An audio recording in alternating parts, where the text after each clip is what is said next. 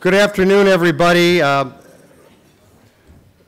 and welcome to the 17th Annual Justice John Paul Stevens Awards Ceremony, Awards Luncheon. Um, my name is Dan Cotter. I am this year's president of the Chicago Bar Association, and along with Chuck Smith, who is this year's president of the Chicago Bar Foundation, thank you for joining us here today. We have a record turnout, 450 plus people, for an event which I think over the past 17 years really has become uh, a tradition at the Chicago Bar, and uh, it seems that every year it continues to be a highlight of the bar year. And so thank you all so very much for being here. And now let me turn the dais over to Chuck Smith, who will share a brief history of this wonderful event. Thank you, Dan. First of all, on behalf of the Chicago Bar Foundation, I'd like to welcome you to the lunch. Um, the Bar Foundation is the charitable arm of the Chicago Bar Association, and so we are intertwined partners in furthering the interests of the, of the bench and bar in Chicago. Um, and we'll talk a bit at the end here about the CBF, if you will indulge me, but just a bit.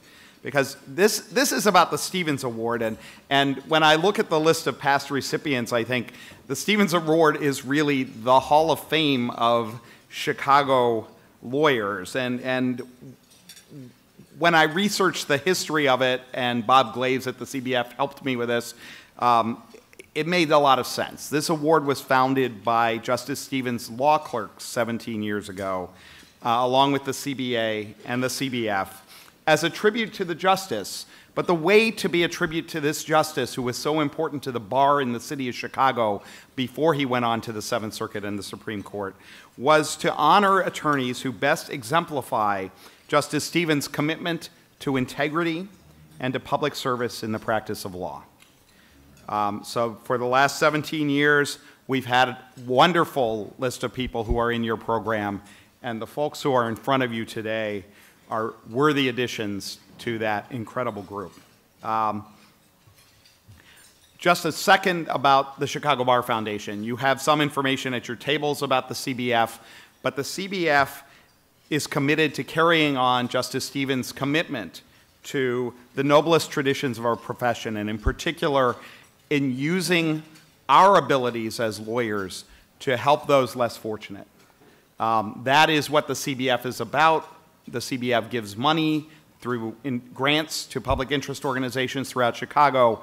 It gives free pro bono and uh, free assistance on public interest, on board development, on a number of other fronts, has developed uh, projects like the Justice Entrepreneurs Project and others innovative projects that are being copied around the country. And all of that is done through the support of people like you in this room. And I, and I hope that um, over the next year of my term as president, you will consider supporting the Bar Foundation in the great work that it does around the city.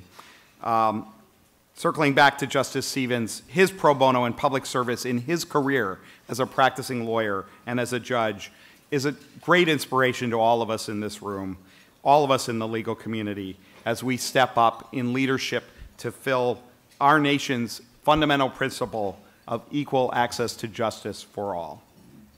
Um, thank you again for all of your support of the CBA and the CBF. I stand between some of you and lunch, so I'm going to keep it brief.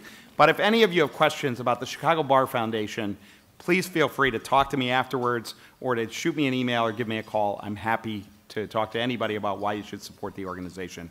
And congratulations again to all the award winners. Okay, folks, we're going to uh, we're going to get started with our program now. In the interest of time, I think I think everybody's been been served their meals at least. But please feel free to keep eating and enjoy your lunch. But uh, we're going to get uh, started with our program largely because of the fact that we have nine recipients this year, and, uh, and Justice Stevens has to, has to get out of town. Um, all of our award recipients this year and for the past couple of years, um, rather than stepping up and, and giving their acceptance remarks live in front of uh, all of us, have done brief videos um, accepting their awards. So you're going you're gonna see those videos. And uh, in the interest of time, I think what I'll do is uh, a brief introduction of the first four recipients and you'll see their videos. And then we're going to ask them to come up and take a picture with Justice Stevens. and then they'll sit and we'll do the remaining five recipients. Um, and so that's the sequence of how we're going to go about this. Um, my introductions are very, very brief, just a few lines about each person. I think all of you have programs on your, on your seats which have the full biographies and explanations of each of the recipients and explaining why each and every one of them are so deserving. Um, but all I can say is that as we go through these nine individuals, keep in mind that when selecting our awardees, the Stevens Committee seeks lawyers who best exemplify Justice Stevens' commitment to public service and integrity during the course of their practices of law.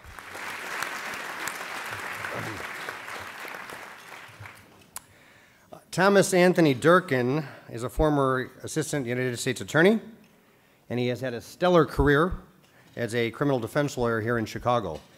But so much attention that has been uh, paid to, to Tom Durkin over the past decade or decade and a half has been uh, through his efforts related to terrorism, both international terrorism and domestic terrorism. And I think it's safe to say that so much of this work has been truly pro bono on his part uh, a truly deserving recipient of the John Paul Stevens Award, Tom Durkin. To be even mentioned in the same breath as John Paul Stevens, just much less receive an award in his honor, is beyond my wildest expectations, and I'm tremendously honored and, and flattered to receive this award. And I thank the Chicago Bar Association and the Chicago Bar Foundation uh, the greatest satisfaction of my legal career has been our firm's representation of unpopular defendants and the very positive reception I've received for doing that from both the bench and the bar. Um, and, and it makes me proud to be a lawyer. I've always been proud to be a lawyer. Um, but after nine trips to Guantanamo, um, I'm very concerned that the principles of the Chicago Bar Foundation and the principles of the Stevens Award remain utmost in, in, in the minds of all lawyers because we are in, in very difficult times. Um, and I would only read from Justice uh, Stevens' opinion in Rumsfeld versus Padilla back in June of 2004, where he warned that unconstrained executive detention for the purpose of investigating and preventing subversive activity is the hallmark of the Star Chamber. Access to counsel for the purpose of protecting the citizen from official mistakes and mistreatment is the hallmark of due process. For if this nation is to remain true to the ideals symbolized by its flag, it must not wield the tools of tyrants even to resist an assault by the forces of tyranny. I'm delighted to be here, delighted to be in the same room with Justice Stevens, and I thank you again.